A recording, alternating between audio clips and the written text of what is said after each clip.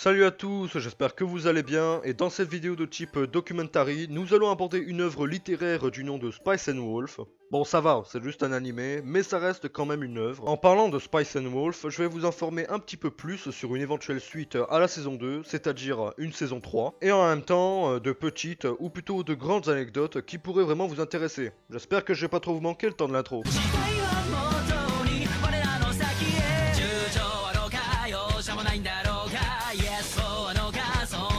much good.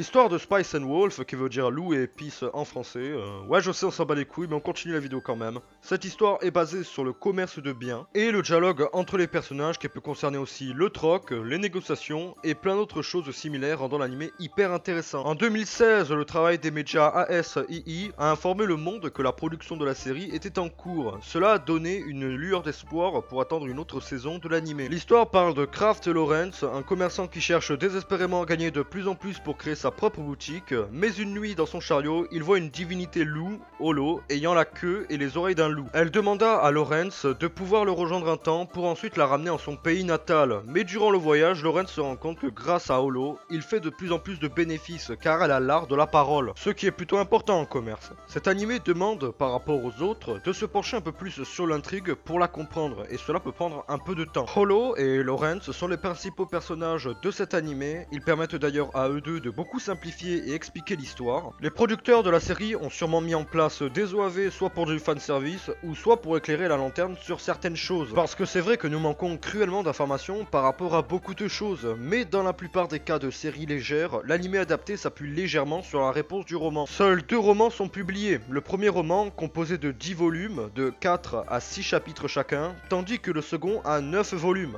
Et la totalité de la saison 1 et 2 sont sur le début du volume 1, donc il reste encore beaucoup de choses à raconter. La production a les moyens matériels pour la saison 3, car ils sont en train en parallèle de faire le troisième tome du light novel. Mais hélas, lors d'une interview, l'auteur, qui est Izuna Asekura, ne montre pas beaucoup d'intérêt dans cette production de la suite. Après avoir appris ça, les fans commencèrent à lancer une pétition à l'auteur pour commencer une nouvelle saison. Mais pour l'instant, toujours rien d'officiel ni de confirmé. Et une chose que je vous garantis, c'est que tout ça ne sommeille pas dans un coin oublié de tous. Loin de là même, car en parallèle, une fois de plus, le studio a annoncé officiellement le développement de Spice and Wolf VR, qui sera une adaptation vidéoludique de la série et sortira en 2019 sur l'HTC Vive, l'Oculus Rift et sûrement d'autres plateformes non spécifiées. Le genre du jeu n'a pas encore été dit, mais il y a de grandes possibilités que ce soit une sorte d'aventure narrative. La voix de Holo sera faite par Ami Koshizumi, qui a fait les voix de Ryuko de Kill la Kill, Eleanor de Tale of Berseria et d'autres. En résumé, il n'y a jamais eu autant de probabilités de suite que ça. Le studio sort un jeu sur l'animé, le manga s'est fini il n'y a pas longtemps sur le tome 16,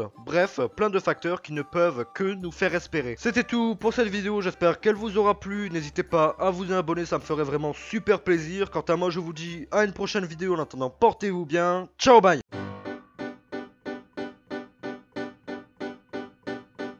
Seven up on a witch's tree. With seven seeds to plant inside of me